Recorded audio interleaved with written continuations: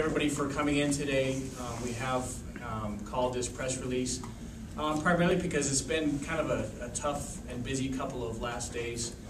And I know it's frustrating not being able to get the whole story or all the information from um, local law enforcement, but part of the reason we haven't been able to release anything is to make sure that we do it the right way, not jeopardize um, ongoing investigations regarding this matter, or especially jeopardize the particular case out of Cody itself. Um, On October 13th, Saturday, uh, middle of the day, we were contacted and asked for assistance by the FBI as well as from Cody Police. That assistance was asked for um, within a, a number of areas of Gallatin County to include the city of Bozeman, Manhattan, um, city of Belgrade, and the county as a whole, primarily uh, to locate uh, Mr. Jesse Paul Spear. Throughout the course of that day, he was located, was arrested without incident, and we continued to help the FBI with what needs they had for the investigation throughout the day, and that continues through even today. Um, Because the case is out of Cody, Wyoming, because it does involve um, ongoing parts of the investigation, we are not able to release a lot of details about our role in the investigation, but we'd be glad to release what we can. Right? Uh, The sheriff's office, one of the main things that I can explain to you is that, and I'm sure you're already aware of it, but that the suspect did uh, waive extradition. So that way uh, Cody, Park County, Wyoming will be making travel arrangements with the Gallatin County Sheriff's Office uh, within 30 days. And then the other thing is, is that we can let you know um, that the person, the uh, suspect did reside in Manhattan for a short period of time.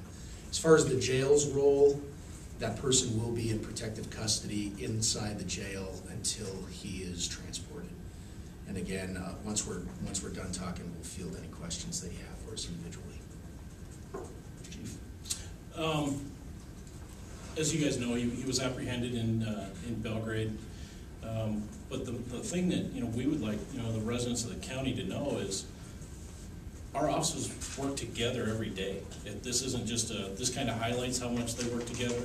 Um, but our officers are in contact every day. Um, this just shows how fast they work together and how well they work together. And they cultivate that all the time. And when one of these bigger events come together, they all just tend to mesh, you know, mesh up and work real well. So, Yeah, I just want to reiterate that uh, even though you're not getting information, because I, I must have got a hundred phone calls this weekend, doesn't mean anything. It means behind the scenes, we have a lot of people on the ground from all these different agencies, along with the FBI, working together as a team to help Cody with their case. So, uh, again, we'll field any questions that you have uh, individually, but uh, again, we cannot give any details in reference to the investigation.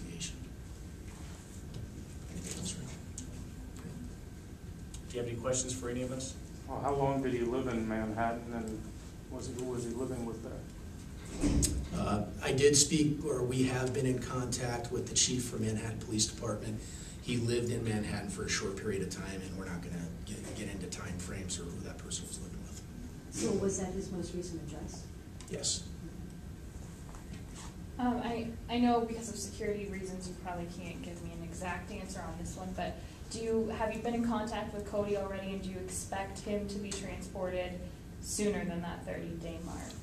It's, it's my understanding, I just uh, visited with our uh, jail person, that we have already been in contact. And in these cases, m- most of the time, it's well within that thirty days. that- that Would you say maybe within the next week, the next two weeks? You know, it just depends on their time frame because it's on them. They do have the entire thirty days, so it's up to them. But again, I'm confident that they want to get him into their jurisdiction as soon as possible.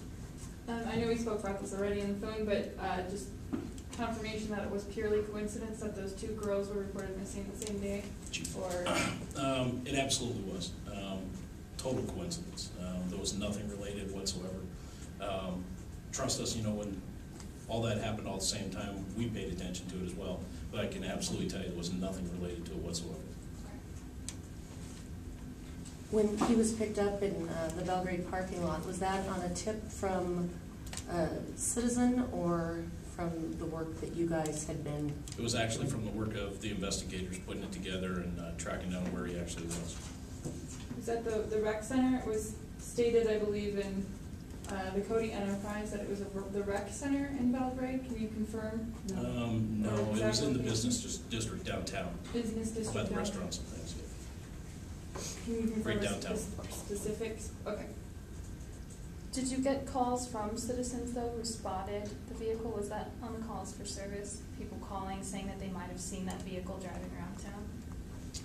Um, I know we had several calls in reference to the reverse nine-one-one, in reference to the young girls.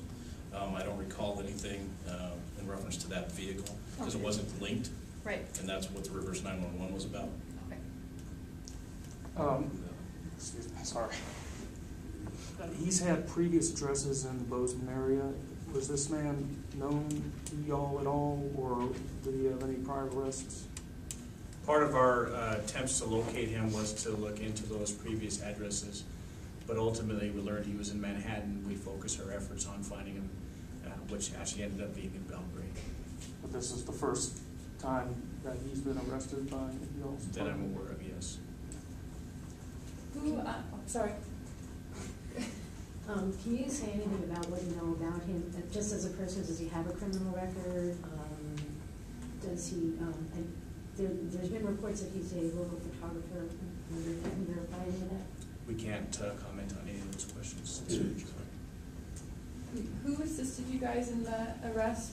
Um, I guess, who, who was all at the scene at the time of the arrest? Um, I know there was, uh, our agencies, Highway Patrol, FBI, um, I don't know if I'm missing any, I don't believe so.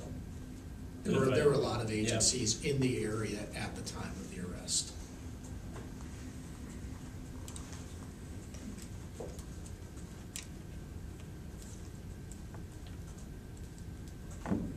Will y'all be able to release any more information in the course of this investigation? At what point should we be able to expect that? You know, I, honestly, our role is almost done. As soon as that person's transported, we're done um, on this end of it. Now, that doesn't mean that we're not going to still assist, assist the FBI and Cody on follow-up investigative information. That's, that's gonna continue to go.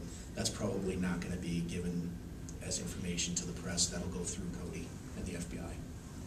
And when he gets transported down, is it going to be, uh, somebody from the, from the county down in Wyoming that comes and gets them, or how, how's that gonna work? You know, I don't, I am not confident whether it'll be federal agencies or the, the county sheriff's office down there. That's something that you could ask them. Okay. How much notice do y'all get before he, uh, Oh, well, no, you won't, but we, Uh, will you be able to release, uh, his booking photo? Um, cause I know we weren't able to obtain that, but that is, that is a new policy through the county attorney's office that we will not be releasing booking photos from now on. That's per state statute, so. Well, uh, I'm, I'm a guest in your fair county here, so if you, y'all wouldn't mind just, maybe just state your names while y'all are all together still. Um, I'm Deputy Chief Rich McLane with the Bozeman Police Department.